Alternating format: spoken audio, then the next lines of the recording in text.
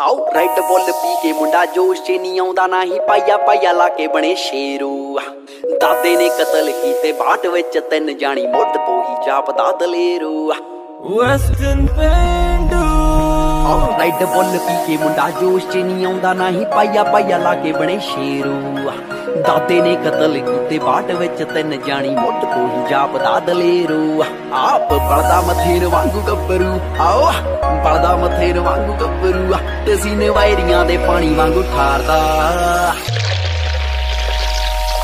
ਓ ਸ਼ੇਰ ਸ਼ੂਰ ਮਾਰਨਾ ਤਾਂ ਦੱਸ ਮੁੰਡੇ ਨੂੰ ਨਹੀਂ ਮੁੰਡਾ, ਕੁੱਕੀਆਂ ਕਬੂਤਰ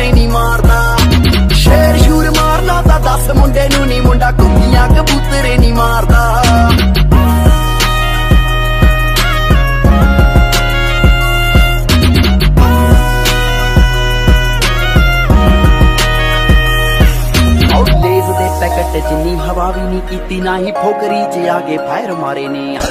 ਕਿੰਨੀ ਕੁ ਹਵਾ ਦੇ ਵਿੱਚ ਉੱਡ ਲੇਗਾ ਤੂੰ ਮੈਂ ਤਾਂ ਬਾਜ ਵੀ ਪੁੱਛਾਂ ਤੂੰ ਫੜ ਤਾਰੇ ਨੇ।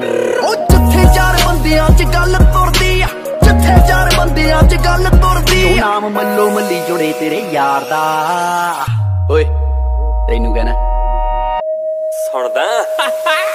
ਓ ਸ਼ੇਰ ਸ਼ੂਰ ਮਾਰਨਾ ਤਾਂ ਦੱਸ ਮੁੰਡੇ ਨੂੰ ਨਹੀਂ ਮੁੰਡਾ ਕੁੱਕੀਆਂ ਕਬੂਤਰੇ ਨਹੀਂ ਮਾਰਦਾ।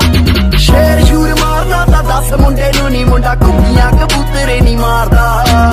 ਡੀਸੈਂਟ ਬੰਦੇ ਪਰ ਮਿੱਤਰਾਂ ਦੇ ਨਾਲ ਜਦੋਂ ਆਣ ਕੇ ਕੋਈ ਫੁਕਰਾ ਜਾਂ ਖੈਂਦਾ ਕੀ ਹੈ ਔਕਾਤ ਸਾਡੀ, ਕਿੱਥੋਂ ਤੱਕ ਪਹੁੰਚ? ਸਾਨੂੰ ਵੱਲੀ ਏੜੀ ਦੱਸਣਾ ਪੈਂਦਾ। ਡੀਸੈਂਟ ਬੰਦੇ ਪਰ ਮਿੱਤਰਾਂ ਦੇ ਨਾਲ ਜਦੋਂ ਆਣ ਕੇ ਕੋਈ ਫੁਕਰਾ ਜਾਂ ਖੈਂਦਾ ਕੀ ਹੈ ਔਕਾਤ ਸਾਡੀ, ਕਿੱਥੋਂ ਤੱਕ ਪਹੁੰਚ? ਸਾਨੂੰ ਵੱਲੀ